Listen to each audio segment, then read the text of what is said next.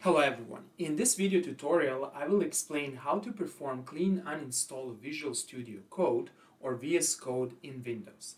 But before I start with explanation, I have to mention the main motivation for creating this video tutorial.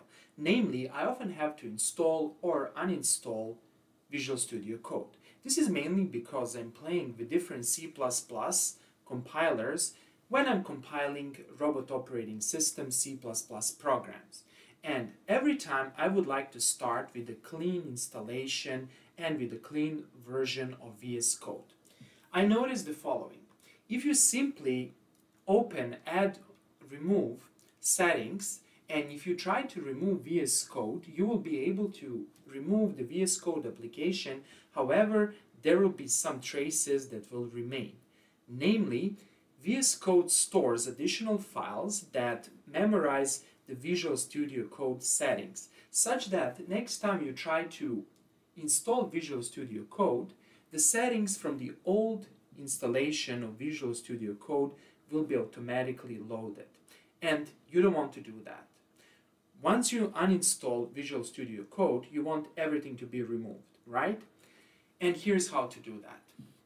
Well, the first step actually is to make sure what is the name of the VS Code executable in the Windows path. So click on Start and search for environment variables. And over here, you need to click on environment variables and you need to click on path and edit the path.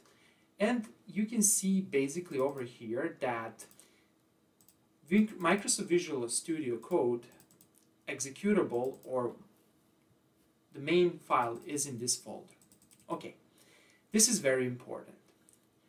Let's memorize this path. Make sure that you, mem that you memorize it. Since when we install Visual Studio Code, we will make sure that this path is not in the Windows path. Okay, so let's uninstall Visual Studio Code. Click on Start and click on Add or Remove Programs. Over here, search for Visual Visual Studio Code and here it is. So click on here, uninstall and let's uninstall it and click on yes. Okay, however this is not the whole story.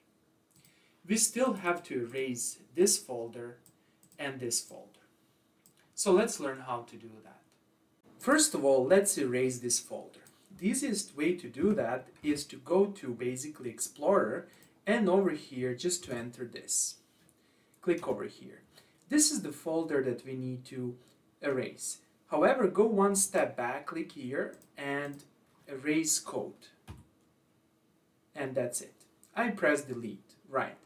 Okay, let's erase next folder.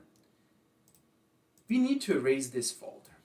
Again, the procedure is the same click over here and go one step back and this is the folder that we need to erase. Simply erase this folder and you can see that it's actually a huge folder. So simply erase it. Okay, and that's it. However, let's make sure that Windows path does not contain the executable for the Visual Studio Code. This is very important. So click again Start search for environment. And over here, click on environmental variables, click on path, click on edit, and we can see over here that we don't have Visual Studio Code binary folder. And that's it. Simple as that. And that's all for today.